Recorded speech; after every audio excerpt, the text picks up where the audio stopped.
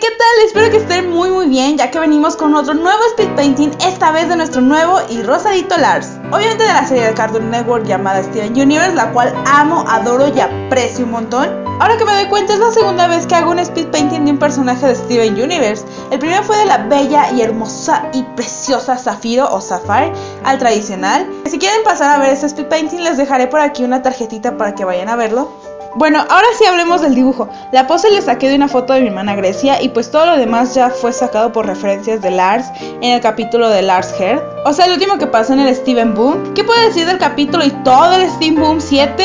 ¡Ah, su pinche Está súper mega guay, está súper genial, no lo puedo superar aún, tiene tantos feelings. Y ya no siento tanto odio por Lars, por algo lo dibujé. Porque ahora se ve que de alguna forma este personaje de ser un miedoso pocos huevos, porque de verdad son pocos huevos, ahora puede ser que se transforme en alguien más valiente y útil en la serie, que espero que sea posible eso. Lo único que me pone algo nerviosa y en duda es cuál será la relación de Sadie Lars cuando si todo va bien, obviamente, regresa a la Tierra. ¿Sadie lo va a perdonar o ya de neta su amor por Lars se va a ir al caño y ya nunca va a regresar? Yo siento que Sadie sí se va a emperrar por un largo tiempo, pero después va a pasar que lo perdone tal vez, ya que Sadie es una persona muy linda, muy carismática, pero sobre todo poco rencorosa, como podemos ver siempre que Lars la caga con su relación. Pero quién sabe, aquí la única que puede decidir ese tipo de cosas es pues nuestra Rebecca Sugar. Hay demasiadas incógnitas aún por resolver en esta serie, las cuales esperemos ver rápidamente y que no se tarden tanto como siempre lo hace esta Rebecca Sugar y su equipo. Así que sin nada más que decir por el momento, disfruten el speed painting.